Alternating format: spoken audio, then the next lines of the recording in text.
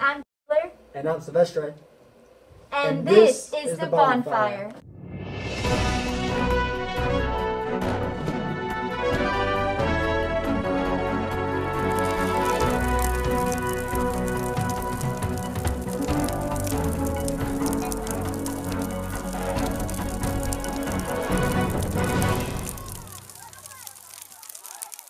Students only.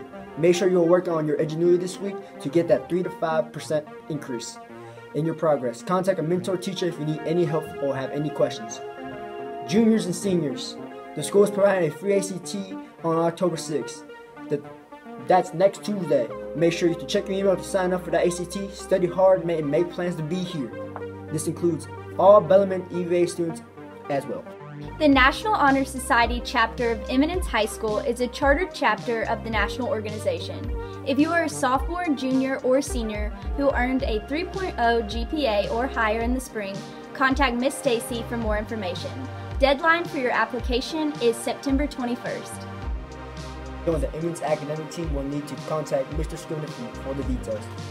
The yearbooks are now on sale. They are $40 and the prices will go up. You can order at johnsonyearbooks.com. See. Curl for more information.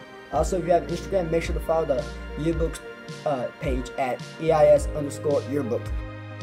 The Sources of Strength peer mentoring team is having their first meeting October 2nd from noon to 2.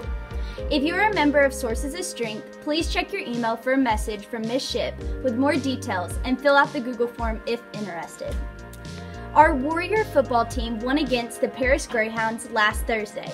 After falling behind early to Paris 622 at halftime, the Eminence Warrior football team managed a comeback after halftime with special team play run by Tay Saunders for a kick return touchdown and strong finishes on offense and defense, along with a game deciding interception by Adrian Bailey to secure the win.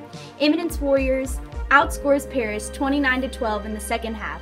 Warriors win 35 34. Congrats, Warriors.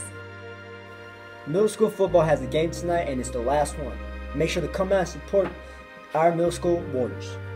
High school volleyball played Saturday against Trimble County in the All A tournament and won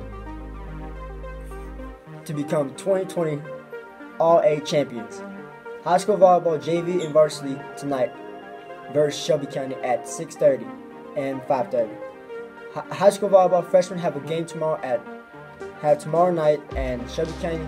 The game starts at 6, so make sure if you are going to wish them good luck. High school volleyball varsity sectional at KCD. Beyond the bonfire is airing again. It will make your Friday even better, so remember to tune in every Friday for this special event.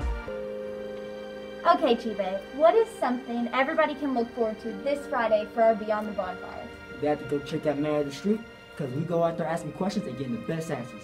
So come out and watch. Stay tuned. See you, Warriors! See.